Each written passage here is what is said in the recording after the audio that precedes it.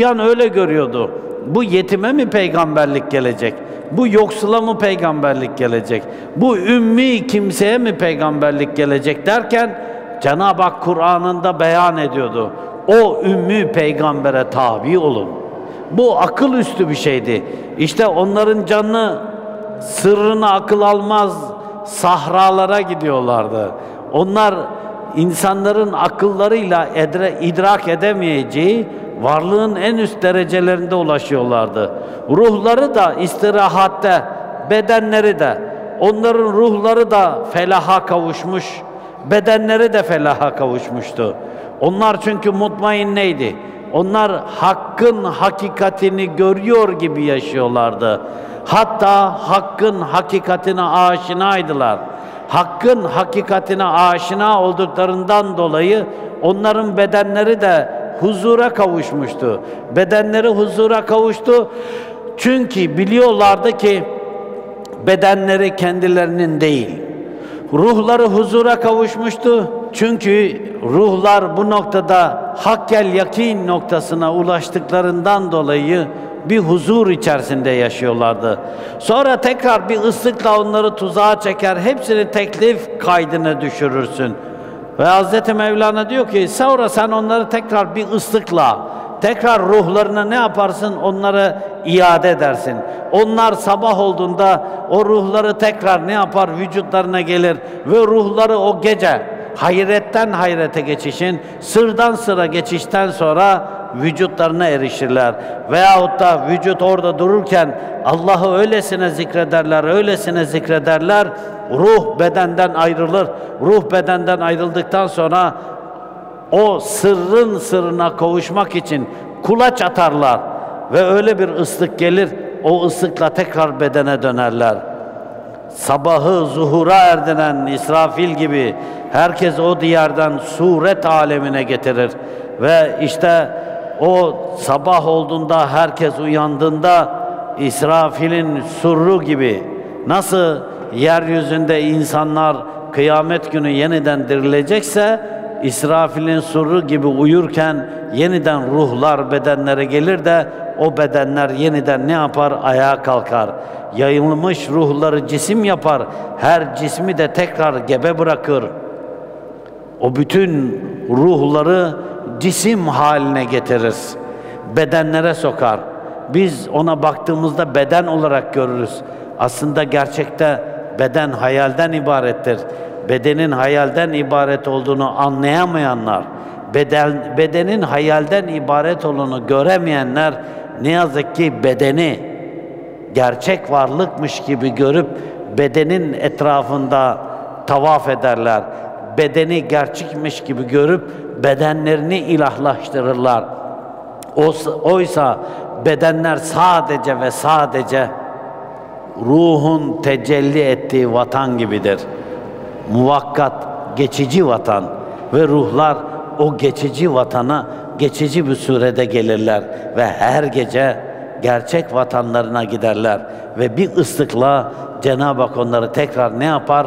O geçici bedenlerine onları gönderir. Kıymetli dostlar, bedenleriniz size geçici olarak verildi. Bu dünyalık, bu dünyada bırakıp gideceksiniz. Bu dünyada bırakıp gideceksiniz. Bedeni putlaştıranlar, bedeni ilahlaştıranlar ne yazık ki hiçbir zaman hakikate eremeyecekler. Hz. Muhammed Mustafa'nın bedenini de putlaştıranlar. O öldükten sonra dinlerinden geri dönmüşlerdi. Onlar için beden putlaşmıştı. Öyle veliler vardır. Velilerden sonra başka bir veliye intisap etmeyenler de o velinin gerçek nuraniyetine değil bedenini ilahlaştırmıştır. Bedenini. Oysa bedenler topraktandır. Bu dünyada kalacak. İkinci sefer kullanılmayacak. İkinci sefer kullanılmayacak. Ve sizin mahşerdeki bedeniniz bu beden olmayacak. Cennete girecekseniz cennetteki bedeniniz de bu beden olmayacak. Cehenneme gidecekseniz cehennemdeki bedeniniz de bu beden olmayacak. Buna benzer beden olacak. Aslında ne enteresan bir şey ki her gece ruh bizden alındığında ruh yeniden bize gönderildiğinde ruh aynı bedene giriyormuş gibi gelir bize. Oysa Cenab-ı Hak bedeninizi de her an yeniler. Her an bedeniniz de her an yenilenmekte. Allah bir yarattığını bir daha yaratmaz. Onun yaratıcılığına, onun kudretine ve kuvvetine noksanlıktır bu. Bir yarattığını aynı şekilde bir daha yaratmaz. Ona benzerini yaratır. Bizim gözlerimiz tembel olduğundan, tembel olduğundan o yeni bedeni tanımlayamaz. Oysa o her an yeniden yaratır her şeyi. Ve her an yeniden yaratırken biz gözlerimiz kör olduğundan o yeniden yaratılışı anlayamayız. Can atlarını eğer siz kor. Bu uyku ölümün kardeşidir, sırrıdır. Can atı dedi ruhtur. Ruhun eğri yoktur, ruhun semeri yoktur, ruhun dizgini yoktur. O uyku halinde alır gider. Uyku ölümün kardeşidir, hadis-i şeriftir. Hz. Peygamber sallallahu aleyhi ve sellem Hazretleri der ki, uyku ölümün kardeşidir. Uyku yarı ölümdür. Bir kimse uyuduğunda yarı ölür. Niçin? Ruh bedenden çeker gider çünkü. Ruh bedenden çekip gittiği için orada ceset kalır. Bazen görürsünüz ya, böyle bazıları görür, tam uykuyla uyanıklık esnasında kendisini bedenden yükselmiş, bedeninin uyuduğunu görür. Bu uykuyla uyanıklık arasında yakaza halinde olur. Ve bakar o kimse, aa bedeni orada yatıyor, uyuyor ama kendisi uyumuyor. Hatta biraz daha böyle e, seyri sülükü varsa etrafa bakar. Aa evin içindekiler de uyuyor. Biraz daha etrafa bakar. Bütün mahalledekiler uyuyor. Bazıları ayakta bir şeyler yapıyorlar. Biraz daha böyle yukarı doğru çıksa bütün şehri görür. Şehir nerede ne var ne oluyor hepsini görür. Tanıdıklar aklına gelir. Annem ne yapıyor der, annesine bakar uyuyor. Babam ne yapıyor der, babasına bakar uyuyor. Aa biraz daha sevdikleri varsa bakar. Kimisi zikrullah yapıyor, kimisi ağlıyor, kimisi dertli, kimisi inliyor, kimisi gülüyor, kimisi seleper uyumuş. Allah Allah. Ruh, beden orada duruyor ama. Bir an gözüne böyle sanki aklı yerindeymiş gibi bir an aklına gelir. Bakar kendisi hala da yatakta uyuyor. Veya koltuğun üzerinde la ilahe illallah, la ilahe illallah, la ilahe illallah derken kalmış orada, uyumuş. Aslında beden uyuyor. Ama öbürkü uyumuyor, dolaşıyor. Ay bir baktık ki Çanakkale'ye gitmiş. Bir baktık ki Tekirdağ'a gitmiş. Bir bakmış ki Mekke'ye gitmiş. Bir bakmış ki Kudüs'e gitmiş. Bir bakmış ki birinci kata çıkmış. Orada meleklerin zikrine iştirak ediyor. Farklı şeyler. Ruh uyandığı zaman ceset hızla ona doğru gidiyor. O esnada o kimsenin elinde tesbih vardı ya, La ilahe illallah, la ilahe illallah, la ilahe illallah diyordu.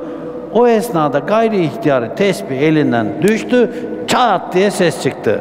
Çat diye ses çıkınca uyandı. Bir baktı ki Allah Allah odada koltukta oturuyor. O esnada ne kadar gidip gitmediğini tesbihin sayısından bilebilir. Ya da gayri ihtiyarı dedi ki ben bir sürü yer dolaştım. Kim dolaştı? Ben dolaştım diyecek. Ne dolaştı? Ruh dolaştı. Demek ki onların eğerleri yok.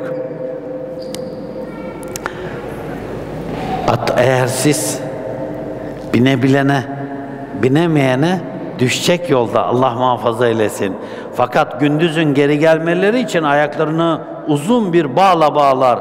Ta ki o çayırdan onu geri çeke ve otlaktan yine yük altına getire. Her ruhun bir bağı vardır. Bu cesede bağlıdır. Cesede. Bu bağ tam bu ensenizdedir. Omuriliğinizin bulunduğunun o soğanın hemen altında, o bölgede. Böyle fantastik film gibi zannetmeyin bunu. Bu oradan bağlıdır. Kiminin ipi uzamıştır. İpi uzayınca bütün dünyadan otlanır. Kimisinin ipi daha uzundur. Birinci kat, ikinci kat, üçüncü kat, dördüncü kat, beşinci kat, altıncı kat, yedinci kat seyran eder gelir. Bu ne zaman kopar? Bu ölüm esnasında kopar. Bu nefes borusu gibidir. Bu muhakkak evinizde kurban kesmişsinizdir öyle değil mi? Kurban kestiğinizde hayvanın nefes borusu vardır böyle kıkırdaklı, boğum boğum. Öyle değil mi? Nefes borusu. Bu onun gibi bir şeydir.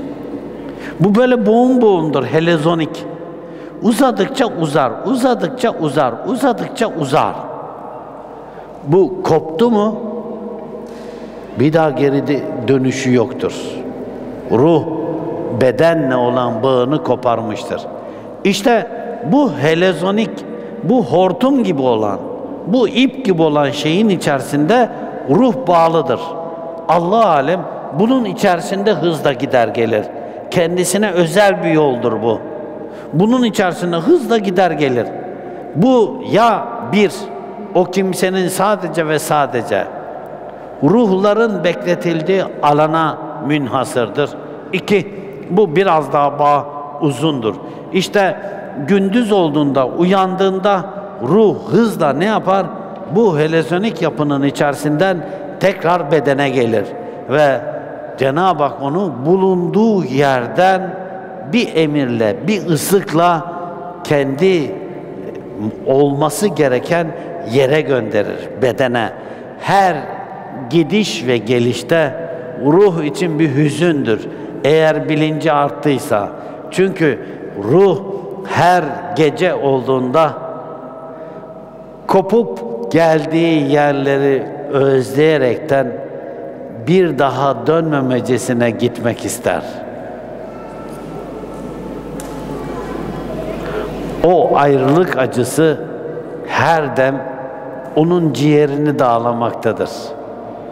O kopup geldiği yerlere karşı bir özlem çeker. Oraya gitmek ister. Ama Cenab-ı Hak cebri olarak onun eceline kadar ruhu tekrar geri döndürür. Ve der ki ta ki o çayırdan onu geri çeker ve otlaktan yine yük altına getirir. Hz. Mevlana diyor ki onu o ruhun bekletildiği yerden, o otlaktan, o dinlendiği yerden, o seyran ettiği yerden Cenab-ı Hak alır tekrar onu vücuda getirir. Keşke Ashab-ı Kehf gibi yahut Nuh'un gemisi gibi bu ruhu koruyaydı da bu fikir, bu göz ve kulak şu uyanıklık ve akıl tufanından kurtulaydı. Keşke biz de Ashab-ı Kehf gibi olsaydık. Ashab-ı Kehf ne yapıyordu? Uyanıktı ama uykudaydı. Dünyaya karşı uykudaydı. Ve Cenab-ı Hak onları kendi emanlarına aldı Allah. Onu kendi emanına alınca onları Cenab-ı Hak onları evirdi çevirdi. Onlar uykudaydı, uykuda olduklarının farkında değillerdi. Ve Allah onların üzerinden hükmediyordu. Ve onları vakti saati gelince sağ tarafından sol tarafına, sol tarafından sağ tarafına çeviriyorlardı. Onlar bir an uyandılar, sanki yeni uykudan uyanmışlar gibi. Sanki bir gün uyumuşlar gibi onlara geldi. Hazreti Mevlana diyor ki, keşke biz de bu dünya hayatında öyle olsaydık. Uyandığımızda ya bir gün uyuduk filan deseydik. Aslında biz öldüğümüzde de öyle olacağız. Ölüm bize geldiğinde ya bir anlık bir şey yaşadık herhalde biz diyeceğiz. Çünkü hani ölüm bizi uykudan uyandıracak ya. Biz ölüm bizi uykadın, uyandırdığında gözlerimizi avuşturacağız.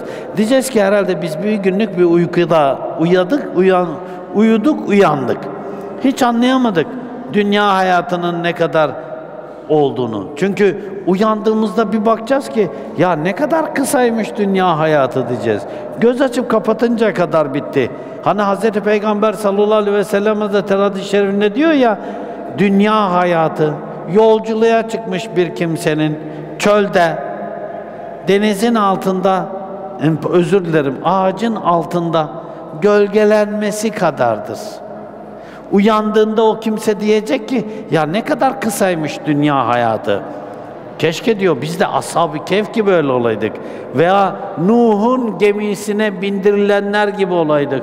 Dışarıda tufan var, geminin içinde hiçbir şey yok. Dışarıda ortalık hallaç pamuğu gibi atılıyor. Geminin içerisindekiler sakin sükunetteler. Hiç dışarıdaki rüzgardan haberleri yok. Parmağını uzatsan dışarıda en büyük fırtına esiyor ama geminin içerisinde fırtınadan eser yok.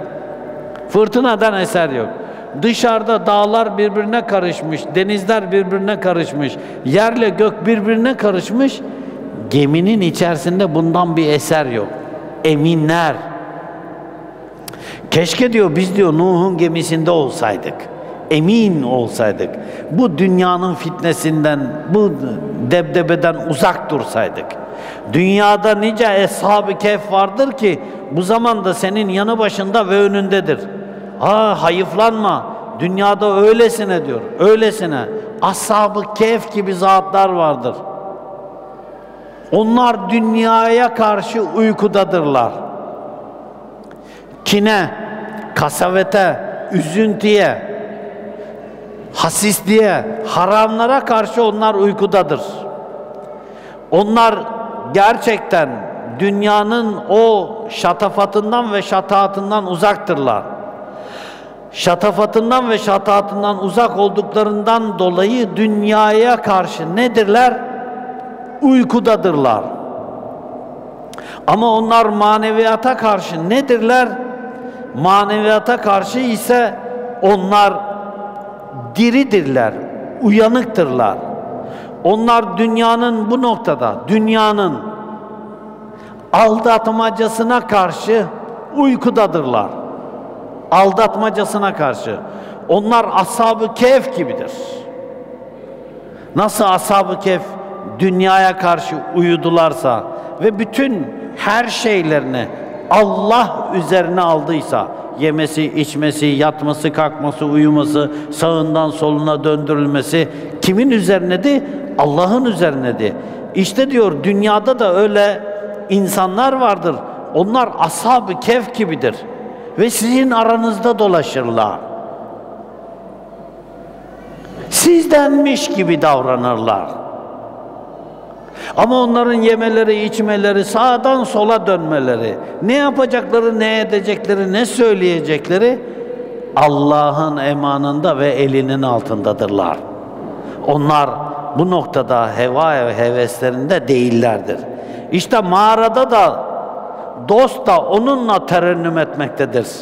Ne fayda senin gözünde ve kulağında mühür var.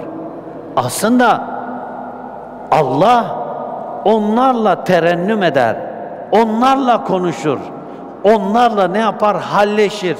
Onlarla konuşup halleşirken gözümüzdeki ve kulağımızdaki o nefsimizin ve şeytanın vurmuş olduğu mühürden dolayı biz onları görüp duyamayız. Biz onları işitemeyiz. Sebep çünkü biz nefsimize ve şeytana uyduğumuzdan o aramızda dolaşan ashab-ı keyfi tanıyamayız. Gözümüzde mühür var. Gözümüzde mühür olduğundan onun ashab-ı keyf olduğunu bilemeyiz. Kulağımızda mühür var. Biz onu işitemeyiz gerçek manada. Niçin? Çünkü heva ve hevese daldık. Nefsimize daldık. Şeytana kandık. O yüzden biz etrafımızda olan ve hatta hatta Hazreti Mevlana diyor ki gözünün önündeki gözünün önündeki o ashab-ı keyfi, o zatları diyor siz görmekten uzak olursunuz. Allah bizi öyle kör olanlardan muhafaza eylesin ve o körlükten bizleri korusun. Cenab-ı Hakk'ın her dem, her an kıyamete kadar var olacak olan Ashab-ı Kehf noktasındaki velilere, mürşitlere Cenab-ı Hak bizi de ulaştırsın. İnşallah onlarla buluştursun. Rabbim cümlemizi muhafaza eylesin inşallah. Cenab-ı Hak hepimizi korusun, hepimizi kendi emanına alsın, hepimizi muhafaza eylesin. Hakkınızı helal edin.